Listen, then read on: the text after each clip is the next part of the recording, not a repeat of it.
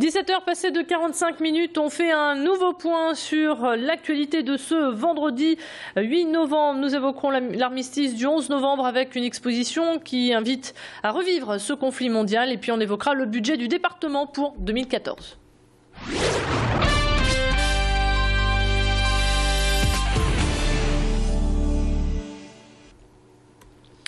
À l'approche du 11 novembre, nous vous proposons en ouverture de cette édition un focus sur l'inauguration d'un centre d'interprétation.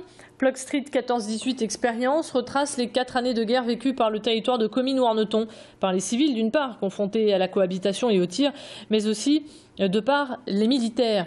Dès l'entrée, le visiteur est plongé dans le passé pour comprendre ce conflit mondial. Cette visite instructive et interactive se déroule en cinq parties, une infrastructure rendue possible par les autorités flamandes et françaises qui ont vivement soutenu ce projet.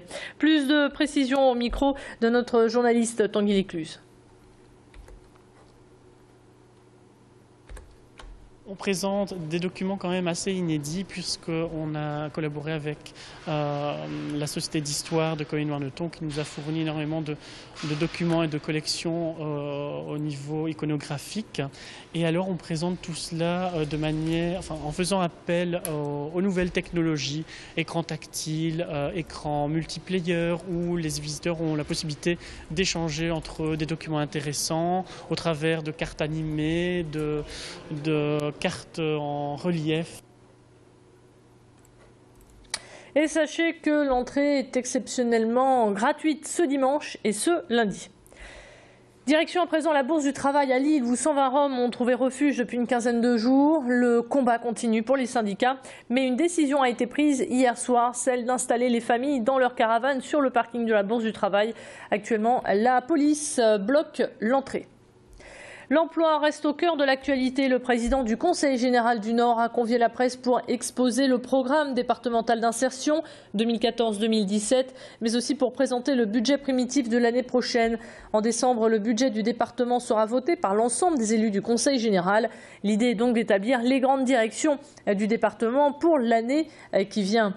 Le budget du Nord, c'est plus de 3 milliards et demi d'euros, le plus gros budget pour un département après celui de l'Île-de-France. Une partie sera allouée à l'enfance et à la solidarité, comme a pu euh, nous l'expliquer Patrick Caner au micro d'Idil Gunaï. 450 millions consacrés à l'aide à l'enfance pour la protection des mineurs en difficulté.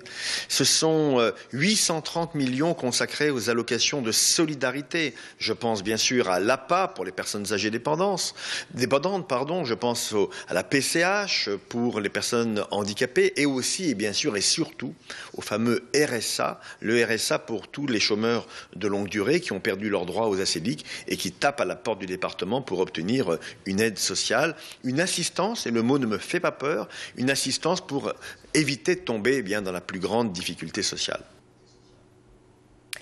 Nous avons reçu tout à l'heure sur notre plateau Sandrine Labarthe, auteure du livre pour enfants, Nourson et la maladie de maman que je vous présente actuellement, confrontée à une maladie euh, très grave. Cette maman a voulu expliquer à son petit garçon la situation. Elle a longtemps cherché en librairie un livre pour son fils et ne le trouvant pas, c'est finalement elle qui a mis sur papier des images accompagnées de mots d'enfants pour résumer cette douloureuse expérience. J'ai demandé à Claire Brenier, qui est la marraine de mon fils et illustratrice de métier, si avec moi elle, était d'accord pour, euh, pour que justement on fasse ce petit livre. Donc elle a accepté.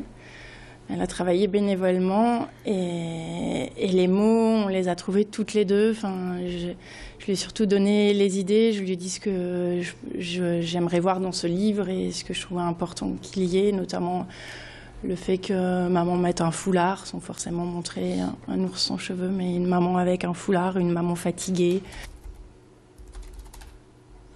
Allez, si je vous dis à présent bêtise de Cambrai, Lutti, la pastille du mineur, je vais très certainement éveiller vos papilles et vous avez bien raison puisqu'il est bien question de confiserie. Watini lance sa toute première édition intitulée Régalez-vous. 15 stands vous y attendent. Il faut savoir que la confiserie est l'un des atouts de notre région puisque le Nord-Pas-de-Calais produit la moitié de la production nationale et ce grâce à la betterave à sucre. L'idée de ce salon est de valoriser notre patrimoine en présentant au public le métier de confiseur mais aussi de vous faire goûter quelques douceurs. Tanguy Lécluse était sur place pour nous. Ah, les bêtises. Les bêtises. Les bêtises à la, à la poire. C'est acidulé parce qu'on le garde longtemps en bouche, parce qu'il a du goût euh, très longtemps et voilà, c'est sympa. Et surtout, ça colle pas. Le carambar, parce que depuis ma jeunesse, je le connais et je suis resté fidèle au carambar. J'ai- J'aime trop les trucs, à- les truffes à chocolat qui, qui sont très très délicieux. Et puis après, bon, tout ce qui est bonbons, tout ce qui est sucré, je suis vraiment très, très partant là-dessus. Les lapins crétins, les truffes et les carambars. Et les têtes brûlées, Pourquoi? Parce que c'est bon. Et les têtes brûlées parce que ça pique. Et ça arrache la tête. Voilà donc en ce qui concerne vos euh, préférences pour les bonbons du Nord. C'est ainsi que s'achève cette édition. Merci de l'avoir suivi. On se retrouve dans une poignée de secondes pour faire le point sur votre météo, vos conditions de circulation toujours en direct. On se retrouve à 18h pile pour une nouvelle édition tout en direct. À tout de suite.